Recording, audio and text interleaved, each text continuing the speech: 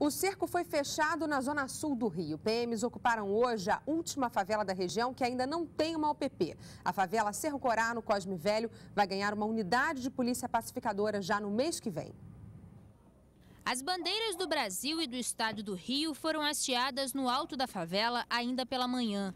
Foram ocupadas também as comunidades vizinhas ao Morro Cerro Corá, Guararapes e Vila Cândido, para a instalação da 33ª Unidade de Polícia Pacificadora do Estado. É uma área importante em termos de turismo, é, na entrada da Zona Sul, né, praticamente aqui no acesso do túnel Rebouças.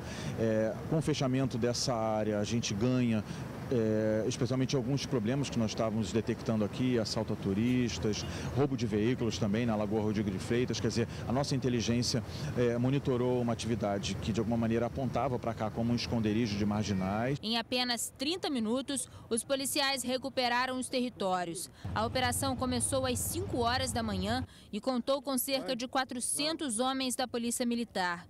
Foram apreendidas drogas e munição num terreno baldio.